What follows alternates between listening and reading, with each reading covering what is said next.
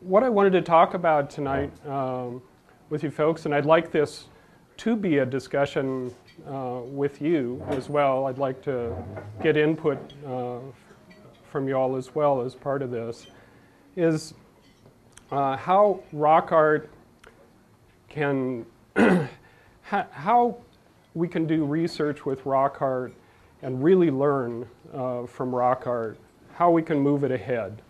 Uh, and I want to focus on southern Arizona. That's uh, sort of for selfish reasons. That's where I've done most of my work, uh, and it's the area that I know best.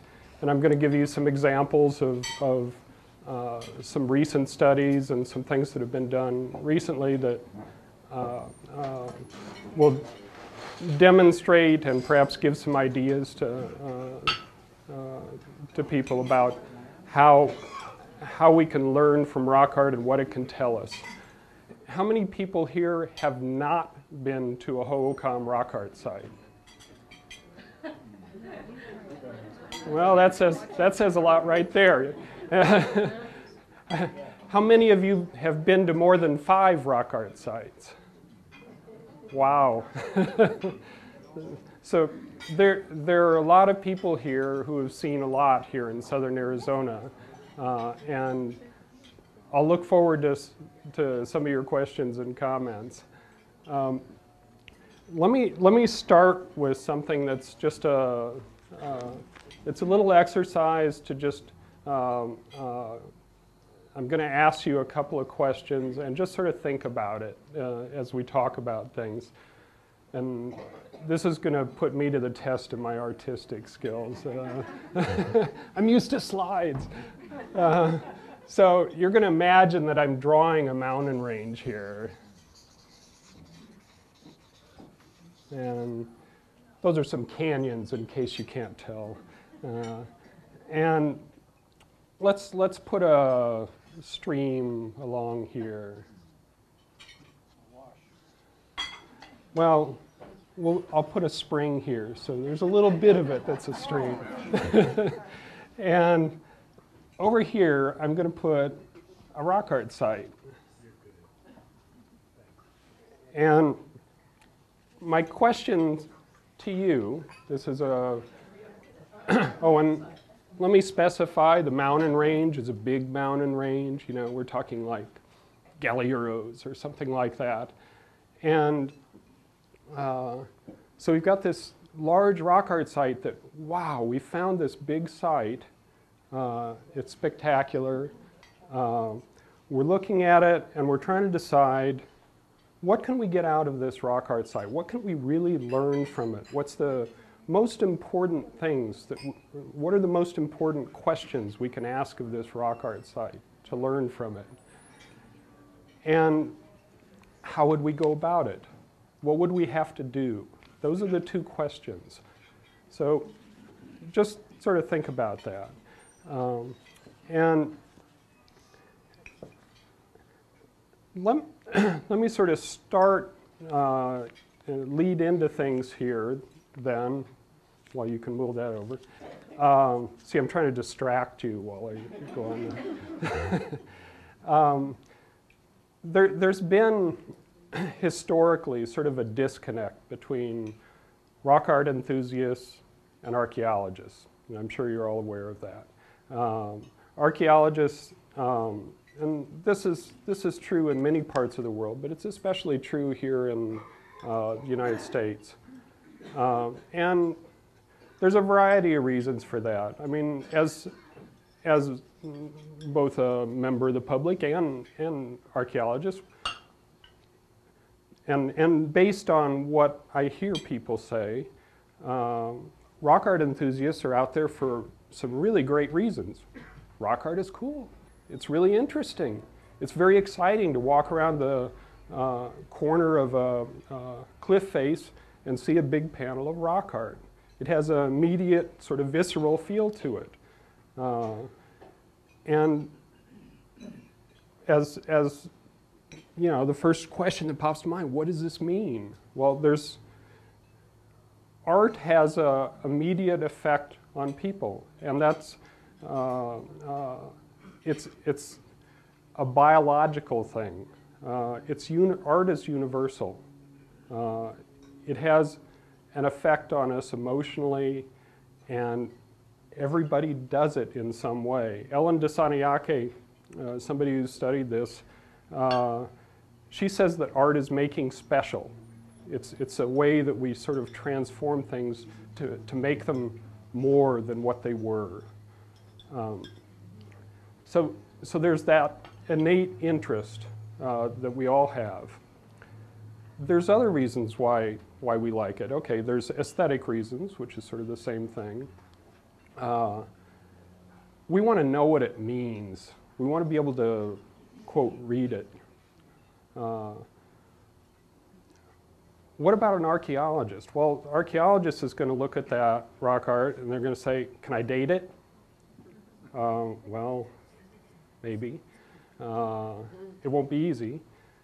Um, the archaeologist may look at it and say, well, I know that I can't read it. Uh, and there's reasons why the archaeologist would say that.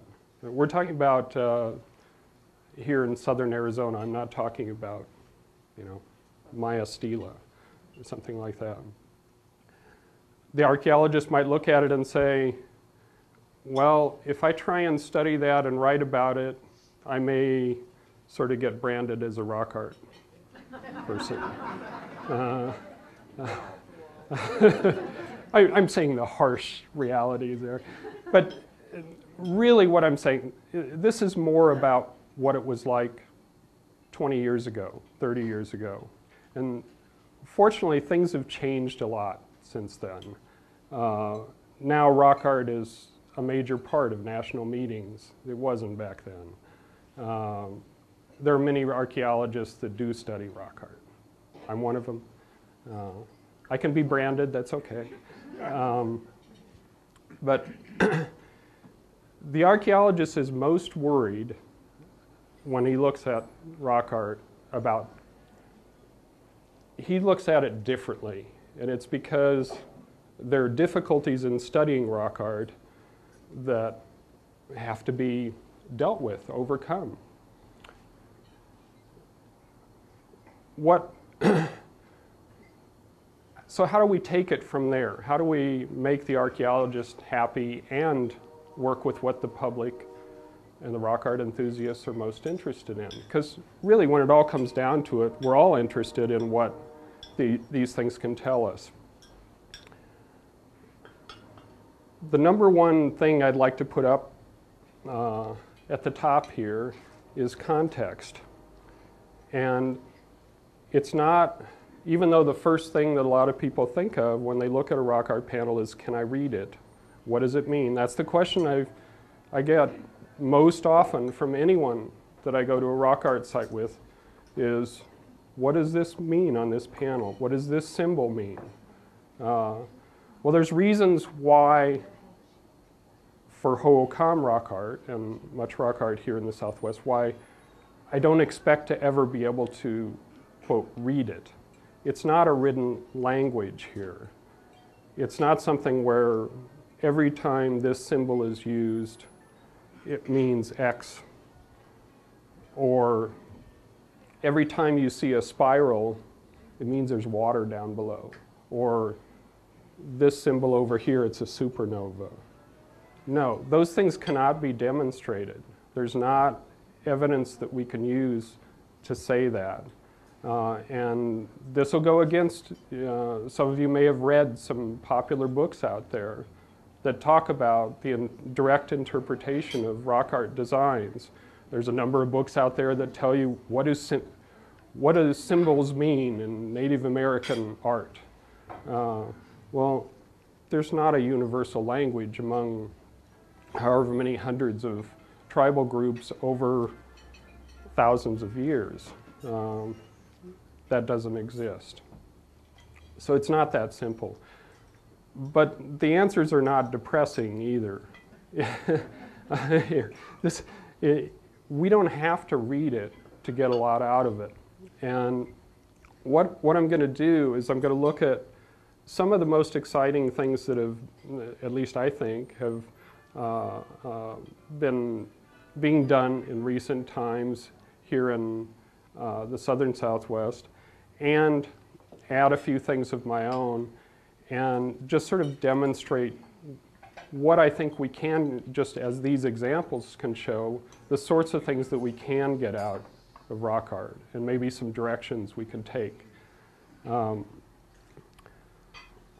one of the first uh, uh, one of the first things I'd like to talk about is a study that was done in um, uh, uh, this last decade in the South Mountains. Um, doctoral student Aaron Wright uh, did a study of the South Mountains, uh, which the, is the mountain range on the south side of Phoenix.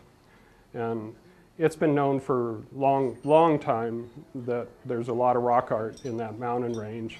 There's uh, hundreds of uh, scattered sites. Most of the individual sites are not large, but there's, there's a lot when you put it all together. Now, of course, that's right next to uh, the largest population uh, center for the Hohokam. Uh, uh, it's often called the core for Ho Hohokam studies. The rock art that's there is, is um, almost all, if not all, Hohokam. There's no earlier components. Well, Aaron Wright was interested in, he didn't want to just record rock art. He wanted to look and he wanted to try and find out what its social context was, what the context was to the people who made it. And to do that, uh, his, his approach was to systematically survey a portion of the mountain range. And that, by survey, I don't mean just a regular archaeological survey where he records all the archaeological things.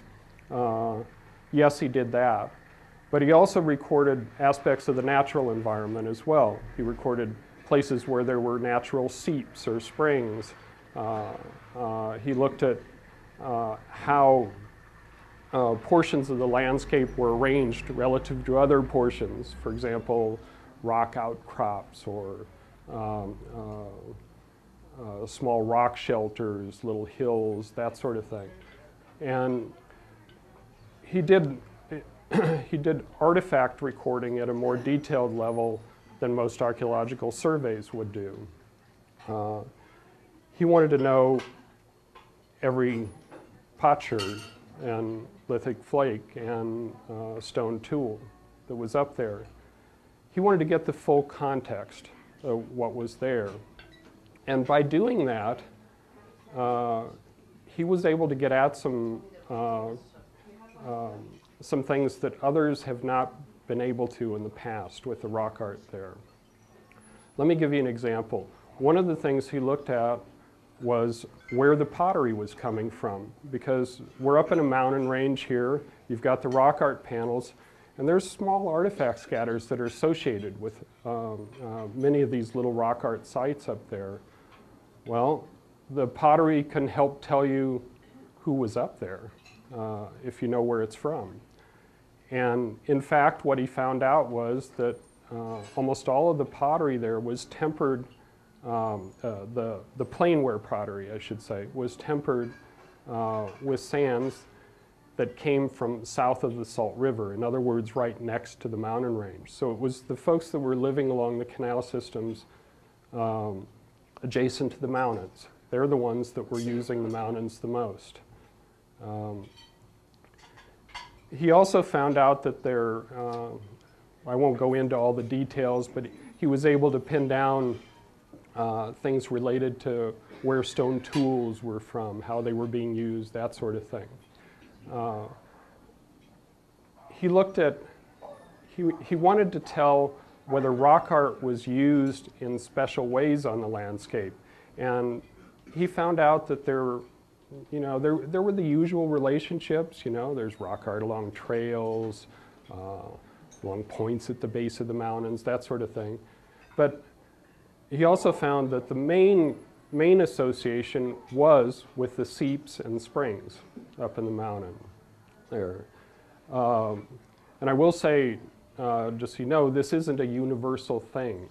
Uh, you know, I've, I've done work in other areas this is a, a lot of what he found was special to the South Mountains. He found several areas where there were unusual things like uh, shrines, where um, by shrine he was meaning things where uh, rocks were like placed in special ways intentionally.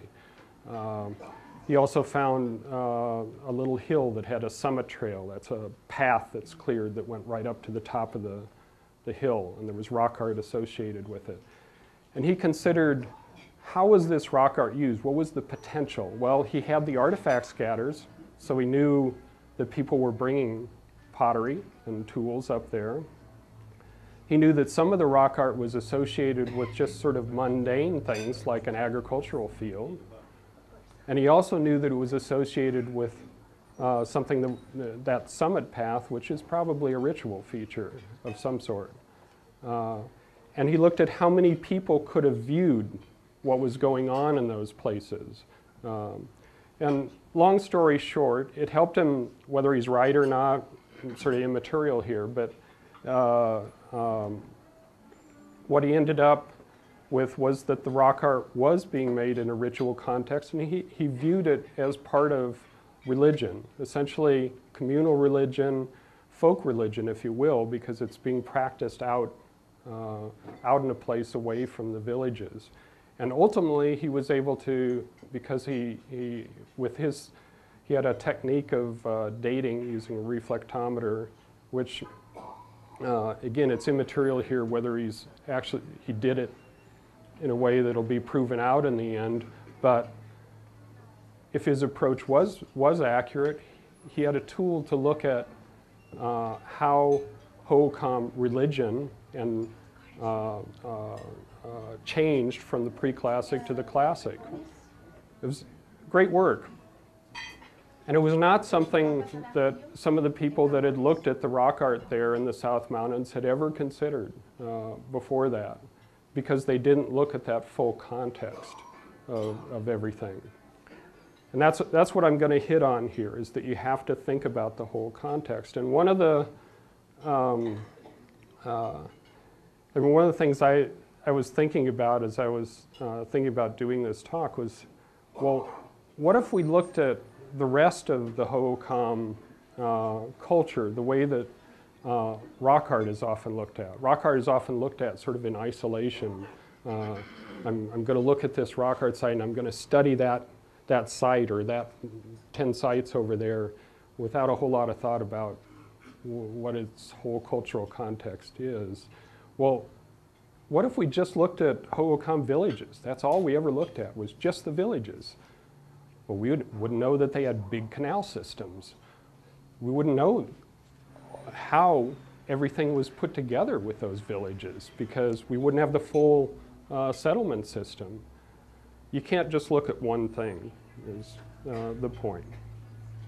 Well, another, another thing, this is something that, that uh, I worked on, some of you probably know, know about. I was, I was doing a study up in the Tortolita Mountains. There was a, uh, the Dove Mountain development uh, well, I was sort of involved from even before it was Dove Mountain, but uh, there's rock art sites in, in uh, the property that's owned uh, by that Dove, Dove Mountain uh, uh, uh, development. And I, I recorded the rock art out there. And one, one of the things there I got to thinking of there was there was a fair amount. There was one site that was all Western archaic rock art, and there was another one that wasn't on the property but not far away that was too.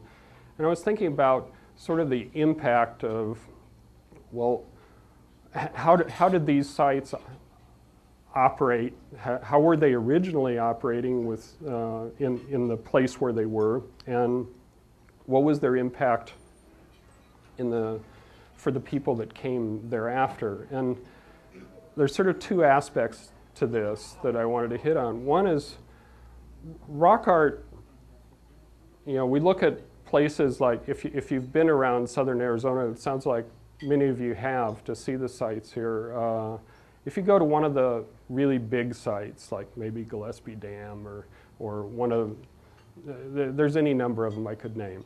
Um, you look at a site like that and you think, wow, there is a lot of rock art here. Thousands, thousands of elements. Uh, you know, hundreds, if not thousands of panels. Um, there were a lot of people making rock art. Well, so I, th I thought, well, why don't I just take a look at that and see how many people were making rock art? And so I had done a study in the Picachos quite a few years ago now, too many years ago, um, and uh, had recorded uh, uh, most of the sites there, not all of them, there's, there's a few others, but I, I, I just did a little modeling exercise and, and figured out how many petroglyphs there probably were in that mountain range, plus or minus, and then looked at how long a time span was involved. Uh, we had the data to do that. And you know what I found out? It sort of averages to about one petroglyph per year. Uh, that's not a lot of petroglyphs.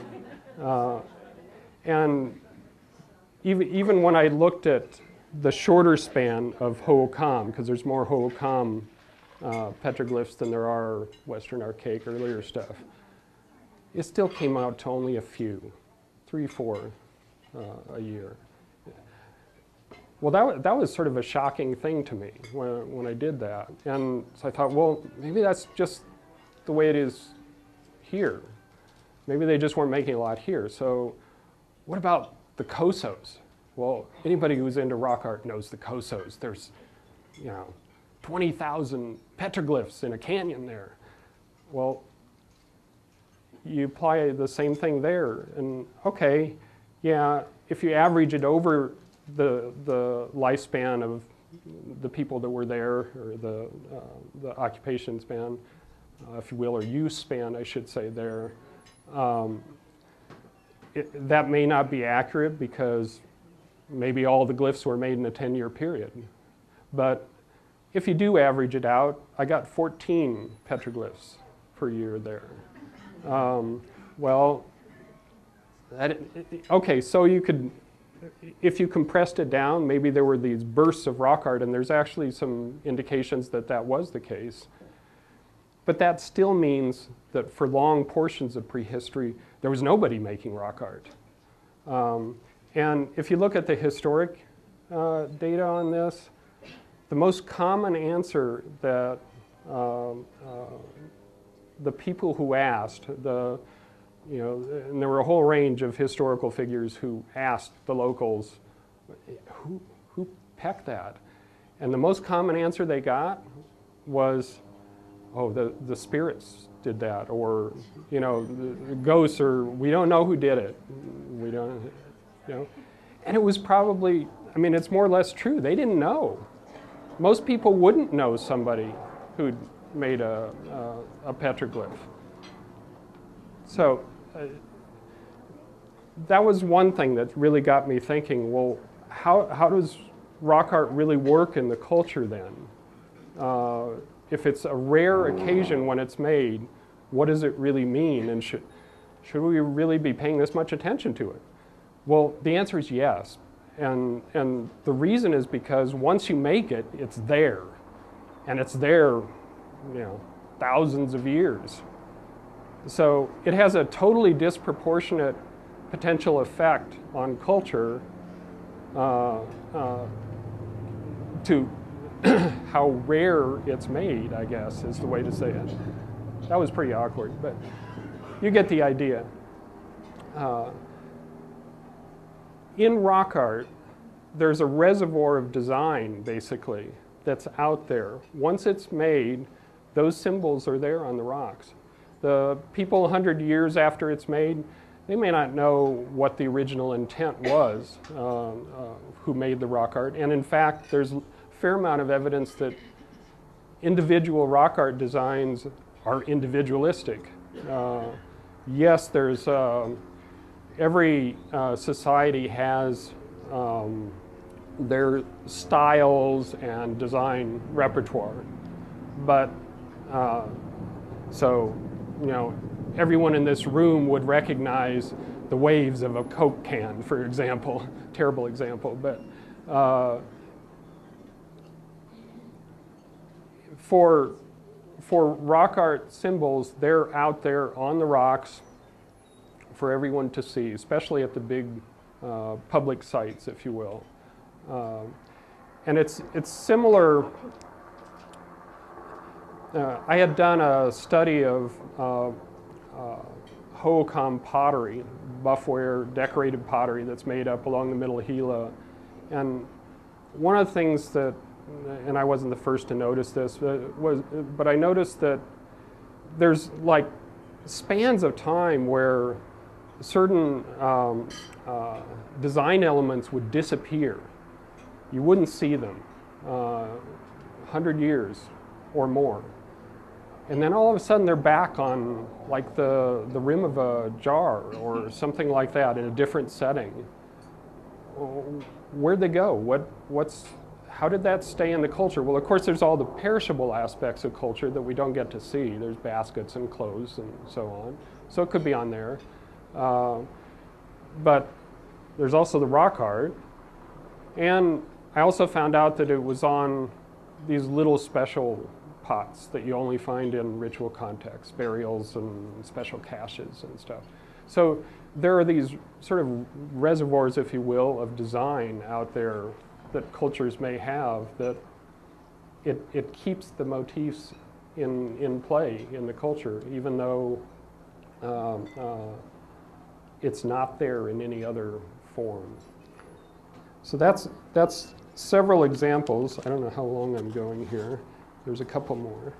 Um, um, I'm going to sneak a peek at my notes here. Okay. Another, one other case, and I'll just do one other one, and then I, I want to uh, drop. I'm going to get back to this, and, uh, and I'm going to ask you some things. Uh, actually, let's do this first. Now that you've all thought about this,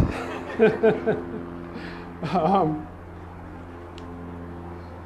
I want, I want to ask how should I, you know, what, what do I really need to do to walk over to that petroglyph site and get anything out of it? Um, shall I just go over there? Okay, one of the standard things to do is I'll go out there and I'll take a picture of every panel. Maybe I'll draw all the elements. I might even uh, record them digitally in some way. And I'll prepare a nice map. Well, is, is that adequate? Will I learn what it, well, of course, there's the, the question, what am I after? And that's, that's even higher up, you know, I was, I was hitting on context earlier, but really the thing is the question, uh, what am I after? Um, if, if what I'm after is a photographic uh, document that uh, a, a, record of what's there. Then my collection of photographs and the map. Okay, well that that'll answer some of that. Uh, that'll that'll be okay for that. But do I need to do something more if I'm interested in it archaeologically or just because I'm somebody who's really enthusiastic and want to get out there and uh, do things? Um, so I, I, guess I'll leave that for whatever comments or questions then you might have afterwards. I wanted to uh, hit on that. And I want to close with uh, just a, uh, this one other study that really is, is quite interesting, and I think it demonstrates how there can be unexpected things uh, that can come out of good documentation. Um, there's a, a, group of local rock art enthusiasts who've been working, some of you may, may be here. My apologies if I can't see you because I'm blinded right now. Um, but uh, there's a group of local rock art enthusiasts who've been documenting uh, a large rock art complex in the Catalina, Santa Catalina Mountains up in the Cedio Valley. Well, they've been doing a great job of it. They've, they've documented trails, they've documented where the panels are, uh, we recorded other features and so on with it, uh, uh, habitation areas and so on. And uh, I don't think when they were working on it, they ever could have anticipated why that would end up being really important uh, for me as an archaeologist working on a village uh, about, oh, maybe 10 miles away. Well, as it turned out, the village I was working on was called Honeybee Village. Uh, it's up in Oro Valley. You can actually, well, no, you can't yet, but someday if there's money with the county and Oro Valley and they work out uh, things between the two, there'll be a park there that you can go see because uh, a portion of the center of the site got preserved. But a portion of the site didn't get preserved, and we excavated that. Uh, matter of fact, a very large portion of the site. And one of the things we found at that site was that uh, the Hohokam there were using uh, high elevation wood for building a lot of their houses. Uh, juniper, um, uh, pinon, ponderosa pine, cork bark, cork bark fir, uh, some of the wood had to have come from very high up, probably up near Mount Lemmon. Um, so, and we're talking about a lot of logs. They were hauling logs down from the mount, mountain. Uh, uh, individual house in some cases would have taken like 30 logs. Uh, um, and transport distance of uh, uh, 15 miles, 18 miles, something like that. Well, of course, I was interested in where did they go to get the wood. Uh, and so one, one of the students who was working uh, uh, with us uh, did her thesis on uh, taking a look at a, they call it least cost path, which is sort of a, a, a jargony way of just saying what's the most efficient route that you can take to get to whatever you're interested in, in this case to the, that elevation where the wood is. Uh, and what she found out, and what I found out, because we were sort of working independently and looking at things slightly differently, we both came to the same conclusion of where that path had to be. And the path went right through that rock art site.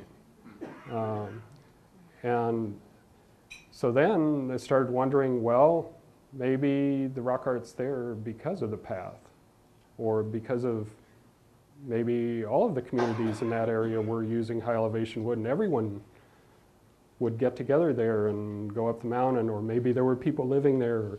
There's all, all sorts of questions. I don't have time tonight to go into that.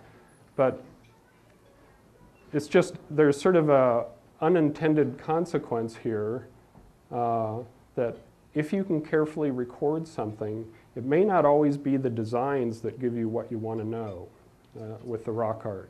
It may be where they are, what their context is, and um, how they're arranged on the landscape, are there trails, and so on. And that's, that's the point I want to get across with that example. And I'm going to stop here because I shouldn't talk all night. I should let you guys uh, have your, your say too. And I'd, I'd love to uh, answer any questions or, or um, or whatever. So. Okay, um, before we get the questions started, I just want to point out there, if you don't feel like uh, asking the, your question um, on the, the microphone, there are pads and pens and, and, papers on all the tables. Feel free to write a question down, and if, as I'm running around, if you'll have somebody pass me the question, I'll, I'll answer it uh, when we can get to it.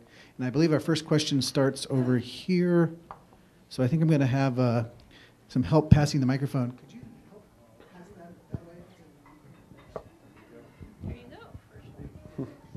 Hi, um, that the most recent site you were talking about is that the one off the Baby Jesus Trail up in? Yes. Okay. Can you hike to that, or, or you can't? Is it off a trail uh, or a? It's a it's not a it's not a. Uh, actually, the access to it is fairly restricted because you have to go through private land. Uh,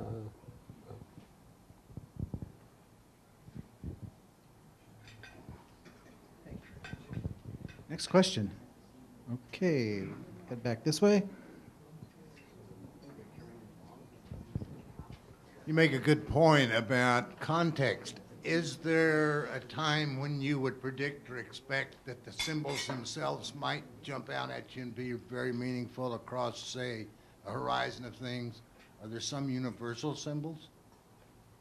Um, Great question.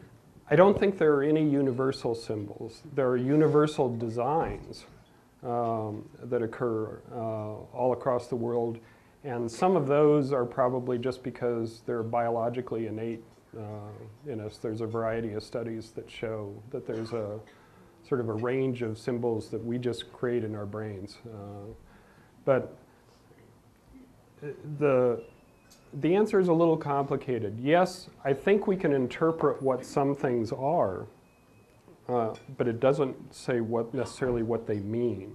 And by that, let me give you an example. Um, there's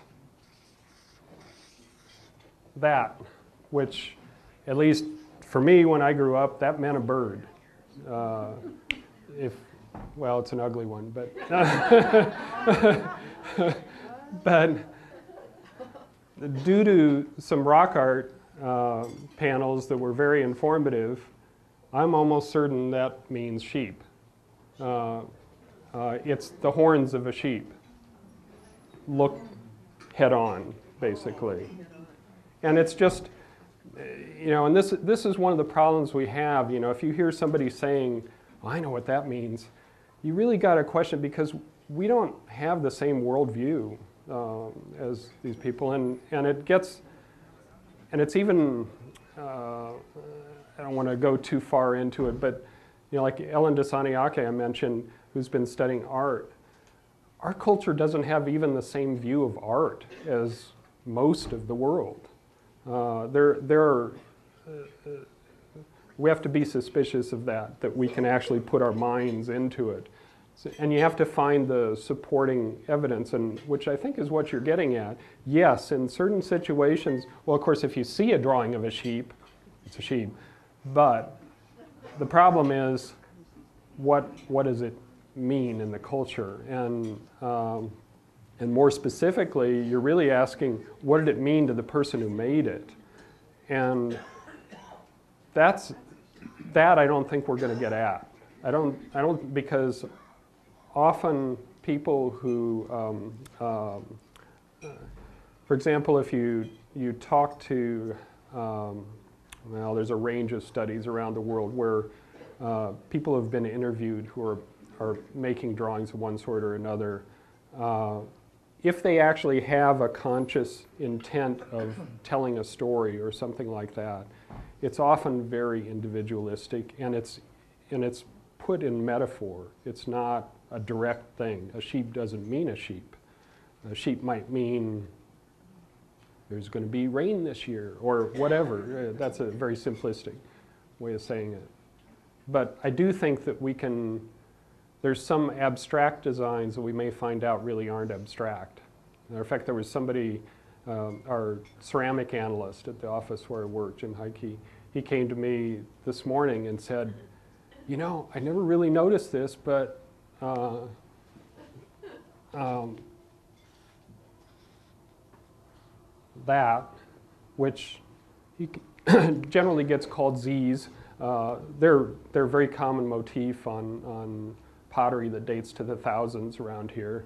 Um, well, if you put two of them together, well, circle there and line out there. It's the sort of dancing uh, Hohokam people. Um, well, maybe those Z's are the legs, you know, maybe they stand for people. We don't know, but it, it's just an example of uh, that sort of context. Does that answer your question?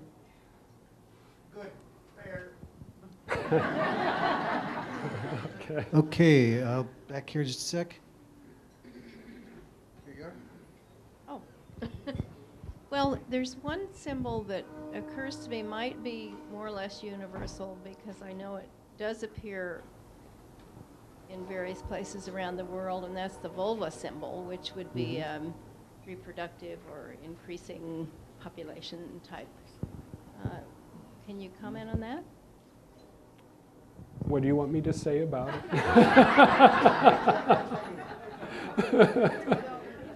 Speak directly. Well, you, you indicated that there weren't really any universal symbols, and Oh, oh, I no, would say are. that that might qualify as a universal symbol. Uh, There are universal designs, I should say. It's just that the meaning of those designs varies. And, and the way people represent things like, like uh, a vulva shape, um, vary in different places. Uh, and maybe there is, I, I don't know, I haven't studied in depth cross-culturally, so that may be one that is, and that may be an exception, but I couldn't, I couldn't address that because I don't know. Okay, question here. Yes, is, is there a, um, a way to date rock art? Uh, there are a number of techniques that uh, have been used. Um, there's no one technique that works in every place, and uh, a fair number of techniques right now are, are still considered experimental, or at least I consider them experimental. Um, the and there's there's some techniques that are definitely not very good. Um, perhaps the the best ones uh, or, or the easiest way to do it as an archaeologist is if you can find certain symbology that you know dates to a certain time period because you have the pottery designs or whatever cross dating basically uh, but in terms of absolute dating, dating where you're actually getting a date directly from the rock, uh, if we're talking about petroglyphs. With pictographs, it's different. You, sometimes if they have an organic binder, you can actually date it through radiocarbon uh, dating. Uh, but petroglyphs is another story. Now there's been, uh, Ron Dorn developed a technique a fair number of years ago to use uh, radiocarbon dating for petroglyphs as well. He was dating organic material that was uh, caught up in the, uh, the rock varnish. That's, that's been discounted. He, he retracted it. Um, it. It just, because you don't know where the, the organic material came from, uh, there's too many possibilities for what the date ranges could be. Um, there's there's some other techniques. There's a technique called VML dating that has to do with uh, how rock, rock varnish uh, has formed over different climatic regimes. And that has some promise. Uh, I don't think it's fully demonstrated yet. Uh, and it's not like a really precise technique. It, it can have pretty, pretty wide uh, margin of error. Likewise, there's a technique, uh, this was also Ron Dorn that developed this, uh, it's called cation ratio dating, that um, uh, looks at how the varnish itself um, that can, that forms over time, what its um, cation, well, it's, it's a long involved explanation, but it looks at it directly. And there's, there's some pretty, it, it's a pretty crude technique, but uh, I, I think it's fairly widely accepted that uh, uh, at a gross level, it works. Um, there's some other much more experimental approaches that haven't been demonstrated. The, the work I've done, like in the Picachos, we looked at the actual mineralogy and how varnish formed. Uh, uh, and I think we had at least a reasonable relative tool with that, but it's pretty crude. Um, so. Okay, I think we had one more question over here. Or I've got a stack of questions. Um, I'll just go ahead. Could you talk a little bit about the ubiquity of the spiral symbol? Um, it seems like spirals are everywhere, and some Mhm. people would like to know a little bit more about why. Spirals are one of those designs that are biologically innate in us. Um, if um, maybe I should give some background on this. The uh, there's a range of symbols that there's folks who have, this, this comes out of an unusual body of literature in psychology um, and anthropology. Um, if you ingest certain drugs like LSD, you will see things. And, and uh, those things have been documented. Uh, spiral's one of them. Uh, lots of little dots. Uh, that's another. There's, there's a whole range of these things. Uh, and there's folks who've studied in, in cultures that, that regularly ingest hallucinogens of one sort or another. This, this especially applies to uh, some Amazonian group. Um, those same symbols have been documented. Now, there's this hu- huge sort of controversy out there in the literature related to shamanism and rock art. And as, as these designs, which, which are called either phosphenes or entoptic designs, because they're, um, they're things that we can see.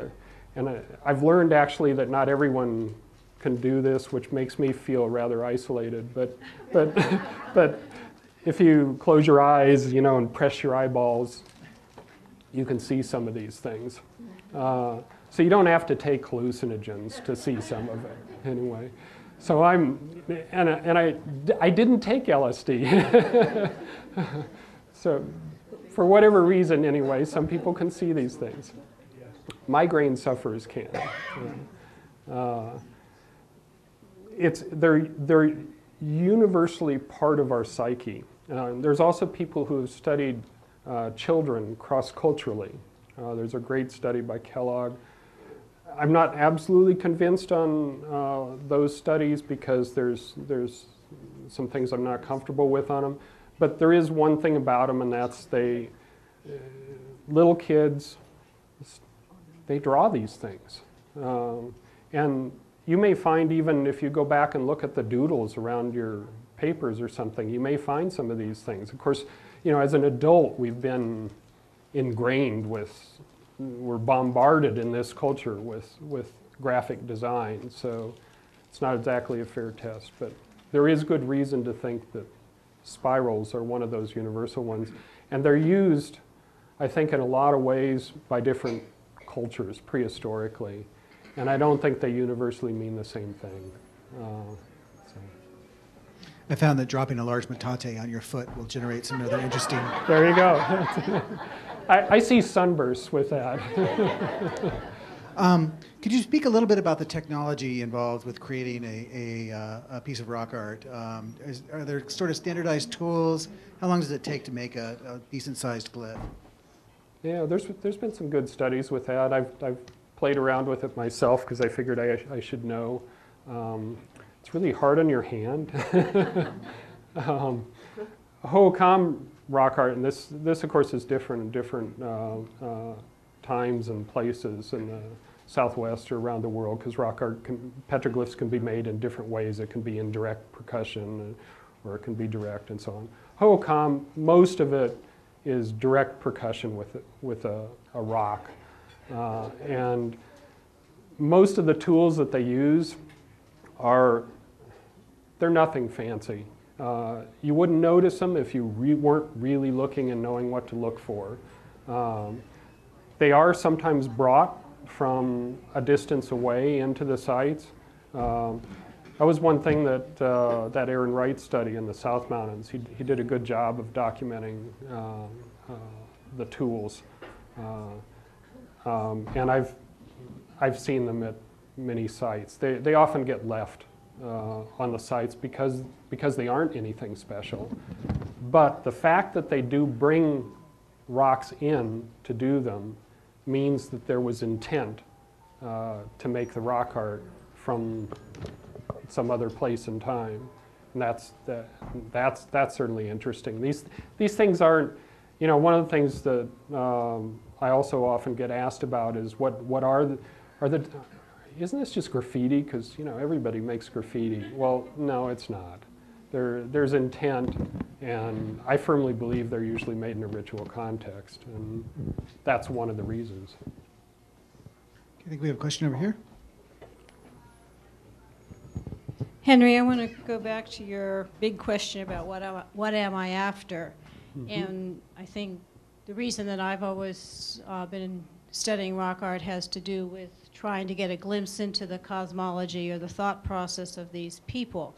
And from what you've said tonight, that sounds like maybe a sort of hopeless case. And I wonder if you could expand on that. Well, that's depressing. I, I didn't realize I gave that impression.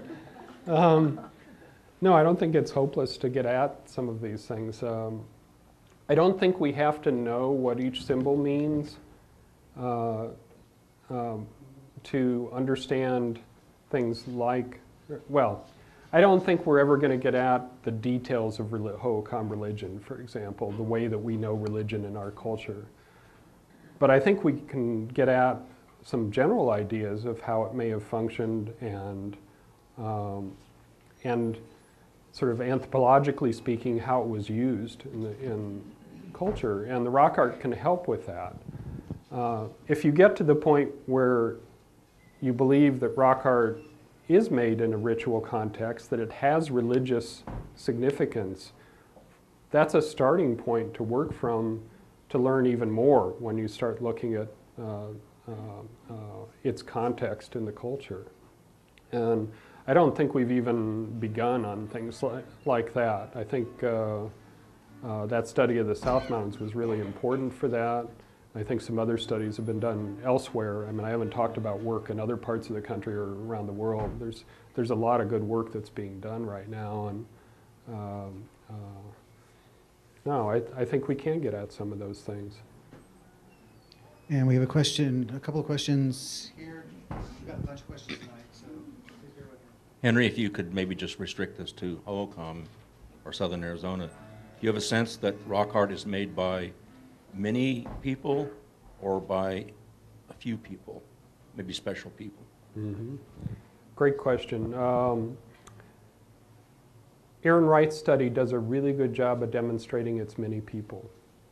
Um, it's, it's an individualistic pursuit. Now, there certainly are places uh, where you can say, I think all of these were made by the same person. But those, those localities are not common. Uh, and, or I, they're not, they're not the average is the, I guess the way, way to say it. Uh, now, he was working with a setting that's different from uh, a- lot of the sites that uh, probably a, a lot of us have seen. He wasn't working with these, you know, the big site at the base of the mountain. He was working with a whole range of sites that were scattered up in this uh, canyon area in the high, and in, up in the highlands, uh, the South Mountains. And so there were lots of separate localities related to different things.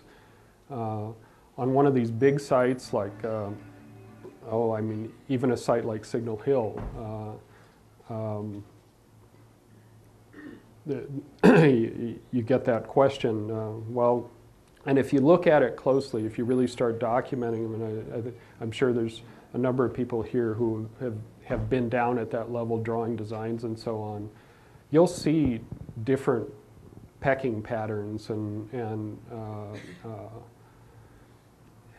different concern with how the design is drawn and, and so on that, that leads me to think that uh, there's lots of people that were involved. Now, lots is a very relative term given what I told you earlier about how many of these things are made. But, but that's the other reason why you would think that it was lots of different people. I don't think it was, it wasn't like one guy that went out there and each year for the 30 years he lived, he put one design. We have a question um, that sort of dovetails into that. Um, can you tell if uh, a a rock art or a particular glyph has been added to or modified through time? Like somebody carves a glyph, and then can you tell that someone else has come up and modified it?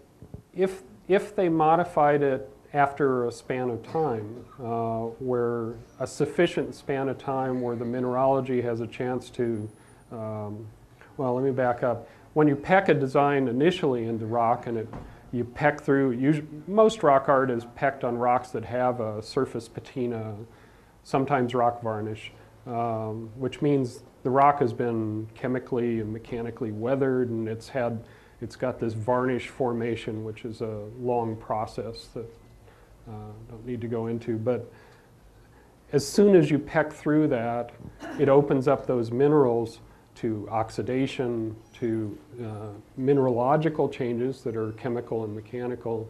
And, you know, if the long enough span of time, you'll get the varnish formation again. And so if somebody comes in a fair, a long enough time, which like up in the Picacho Mountains, that span of time was probably 100 years, maybe several hundred years.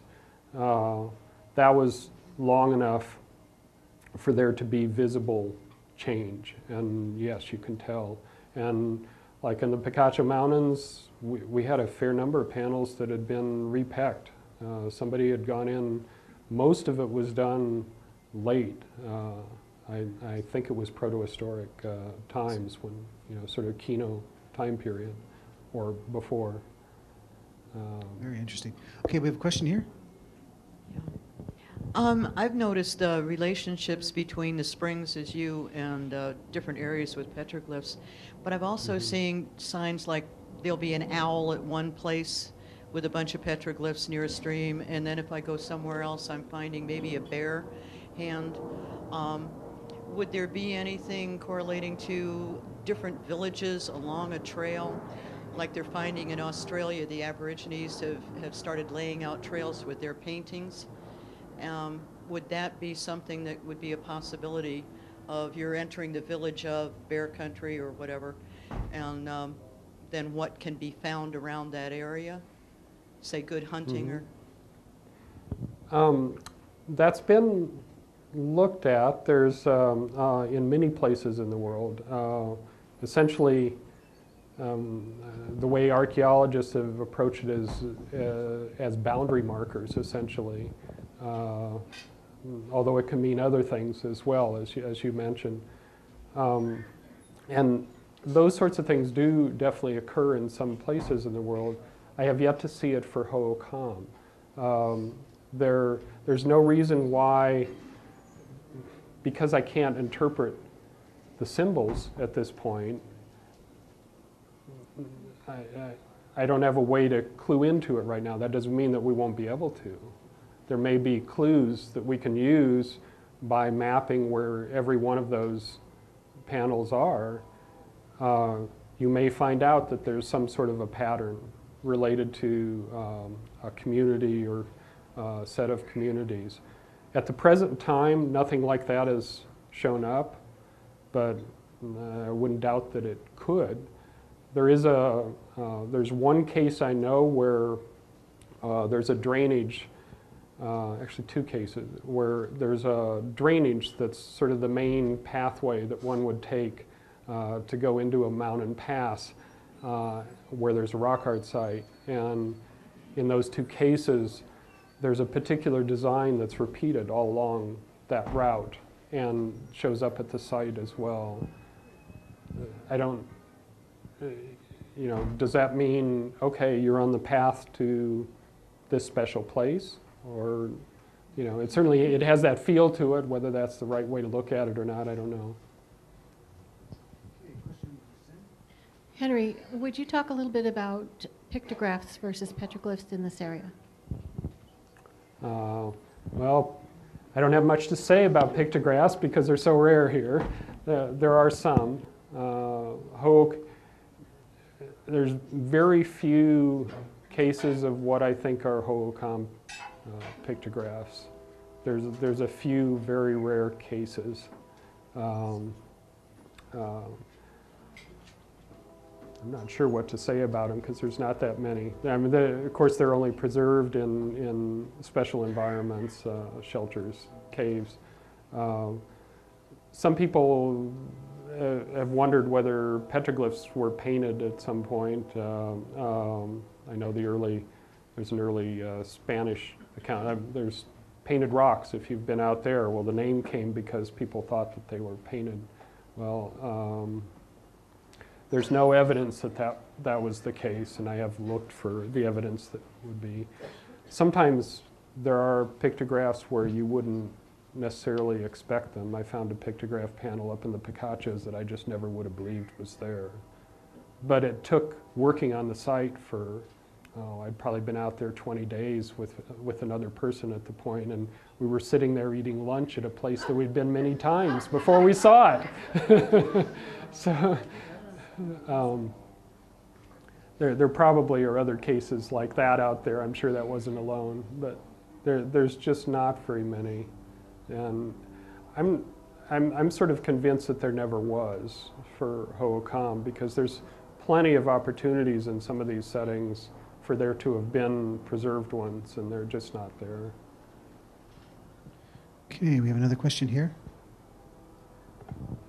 Um, I, w- I've heard some, well, there were two things uh, in terms of context that I'm wondering about. One is acoustics. And, and there is, there has, has been some work on acoustics in terms of ritual um, places, but um, I haven't seen that much here. And it seems to me things like rocks with cupules in them um, that could be used as rock gongs um, might be acoustically connected to to uh, petroglyphs. And the other thing is gender. Um, I know that Nieves Zedeño has has mentioned that some rock art sites, sites seem to be female places uh, as opposed to male places, and she, you know, has gotten to that point by using ethnoarchaeology, by talking to uh, informants um, in in uh, you know present day uh, groups. Um, Well, if, for the first question, uh, acoustics, yeah, there's been some interesting work done. Uh, Like you say, the best evidence for that actually is elsewhere. Um, I mean, some of those great Utah canyons are the best example of that, where you've got a nice, you know, uh, shaped enclosure where if you stand in a certain place, you can hear exactly, uh, you know, the other side of the wash or something. Uh, there's a great case in the lower Pecos like that too, where you can stand in a shelter where the rock art is, and you can be in the shelter uh, way across the canyon and hear it as if you were right there. Um, I've not seen anything like that uh, here, but there are. Uh, you also mentioned the, the cupules, and um, uh, I've heard those called lots of different things. The rocks that, um, if you whack it, it makes a chiming uh, sound. Um, those definitely occur on Hohokam sites, and they occur. They were used all through prehistory here because there's Western Archaic ones as well as Hohokam used ones. Um, don't go out pecking the rocks to see where they make the sound. Um, unfortunately, there's a couple of sites where people have found out and they're getting just really hammered, so to speak. Um, um, you can actually, you know, you can hit it with your knuckle if you're careful, and you can tell that these rocks have this wonderful sound. Um, and it's loud enough that um, if somebody was actually hitting them unobstructed with a rock, it would be very loud. You could have, you know, basically a whole performance. You know, you could have people down there that could be listening to this. There was there was somebody back a number of years ago when these were first getting recognized that went out with a covered mallet and made a tape of music uh, using one of those things. Um, really quite dramatic. They're not that common, though. There's some sites that have a number of them, and many sites that have none of them. Um, and as as as far, as, remind me again. I'm sorry. What? Gender. Gender. Um, I guess I can't address that. I haven't I haven't seen anything that would tell me in in my own work or read uh, for Hohokam work that has done a really good job of addressing that. There's there's some you end up sort of stereotype talking about it. Um, there's like like one of the big sites in the Picachos. Well, it's it's out on an area where uh, you might be out in a hunting area or something like that. Well, so is it so is it male? Well, I don't I don't know.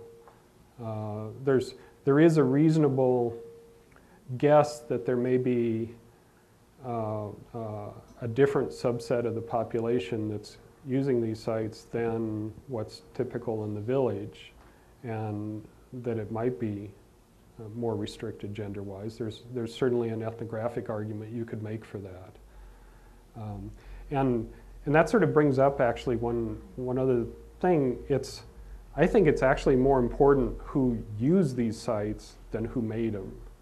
Um, it's, it's, it's that disproportionate effect of art. Because a whole lot more people, like, like one of the biggest sites in the Picachos um, that I worked on, it's, it's just an ideal place to do performances of some sort uh, and have an audience down below you. Uh, and there's a lot of sites like that. Uh, and that's one of the ones that has, has the, the rocks that you can ring. Um, but gender, I'm less sure. Okay, if we could quickly take a step back, um, we forgot to mention um, what's the difference between a petroglyph and a pictograph? Sorry. Pictographs are painted, petroglyphs are pecked uh, or hammered. Or scratched, or scratched yes. Yeah, yeah, we can go through. So, somehow the rock surface is removed, uh, put it that way, for petroglyphs. Uh, I have a quick question. I'm a neophyte, naive at this, so if it's uh, stupid, just say so, and and I'll give you a better grade. Um, no, you're doing great. It's very good. I'm I'm sorry to be so pessimistic. Um, you mentioned the terms Western archaic style and Hohokam. You seem to know that. So are the symbols different, or uh, or what? Uh, could you help us there? Thanks.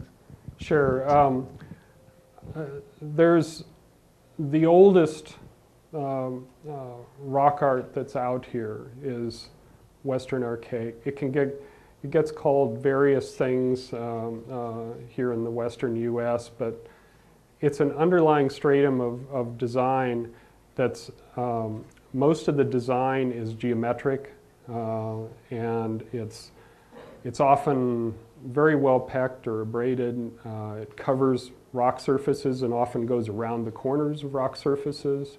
Um, here in southern Arizona, um, western archaic sites have slightly different settings than Hohokam sites. They, they cross one another and they're sometimes on the same site, but they have slightly different distributions. The sets of designs, those geometric designs that are in Western archaic, continue after, uh, once the Hohokam culture develops. They continue in the Hohokam culture. They don't disappear. It's just that, um, uh, like, the specific ways that they're used get changed. Sometimes uh, there's specific uh, elements change a little bit, like rakes become, they were usually curved, they become straight back, things like that. The Hohokam rock art here, which is also called Gila style, uh, um, there's life forms are abundant. Uh, people are depicted in it, stick figures, um, lots of zoomorphs.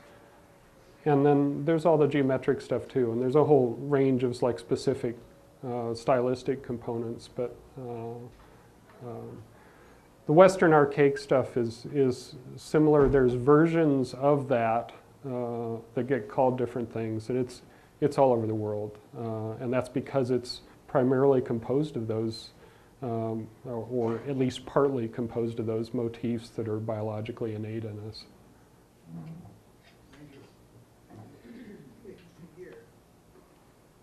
What would rock art look like?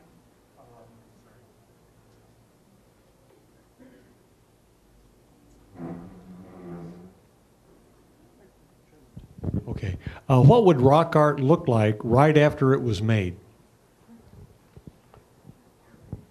Well, I suppose it depends on the rock that uh, is involved, but right when you first pound rock, and I, I, guess I didn't get at that, there was a previous question about experimental, uh, how long does it take to make a design element, but uh, when you first peck, uh, actually almost everything from basalt to sandstone, uh, the rock surface is, it's powdered and it looks really whitish, uh, really stands out.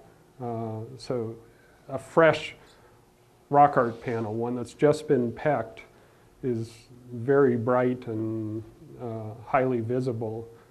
And, you know, over time, of course, that uh, ultimately it's going to end up looking like the, the background of the rock if you give it enough time. But that's the case. Um, and following on that, uh, I was asked, uh, uh, how long does it take to make a design? You can make a small, fairly well-packed geometric design, something not very big and not very complicated, 15 minutes to half an hour.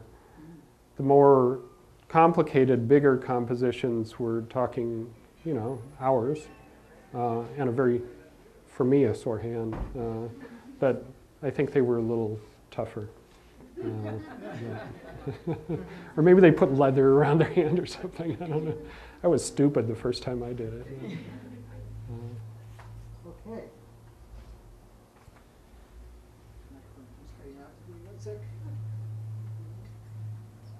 Check. Okay. Um, I guess that does it for us tonight. Uh, an exceptionally good set of questions. Thank you all. Thank you, Henry. yeah, thank, thank you, everybody.